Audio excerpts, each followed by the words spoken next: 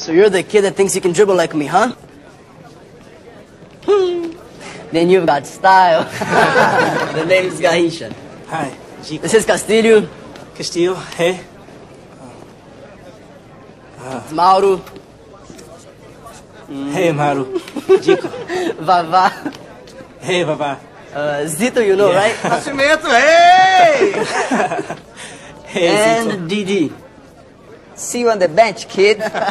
The bench? But coach hasn't picked the lineups yet. Uh, you sure about that? There's your competition. Oh, absolutely. Mazzola. Good luck convincing coach to start you over him. wow, he scrubs force and shine. And I'll be like Mazzola. It's José Altafini. Yeah, but he goes by Mazzola. Because he says he plays just like the legendary Italian striker. Well, my family is Italian and I was trained in that style of play.